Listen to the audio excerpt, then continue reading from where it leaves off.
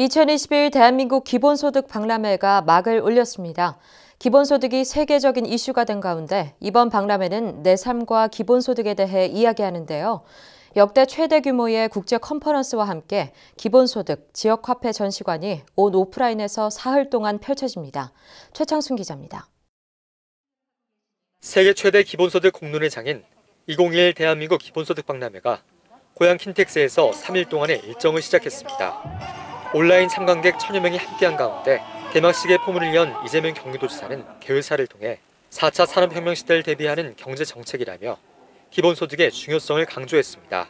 대한민국에서 시행하고 있는 지역화폐형 기본소득이 4차 산업혁명 시대를 대비하는 유일하고도 가장 강력한 경제 정책이라고 확신합니다.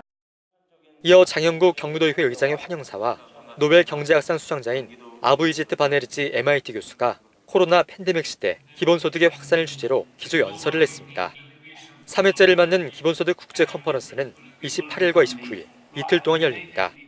사라트 다발라 기본소득 지구 네트워크장과 노벨 경제학상 수상자인 조지프 스티글리츠 교수 등 국내의 전문가 총 68명이 참여해 기본소득과 지역화폐 정책에 관한 열띤 토론을 펼칩니다. 첫회 30여 명이 참여했던 것을 감안하면 올해는 역대 최대 규모입니다. 지난 1일 개관한 기본소득 온라인 전시관에 이어 30일까지 현장 전시관과 이벤트존도 운영됩니다. 기본소득 주재관과 지역화폐관, 지방정부 협의회관, 기본주택관, 배달특급관 등 다양한 전시관을 즐길 수 있습니다.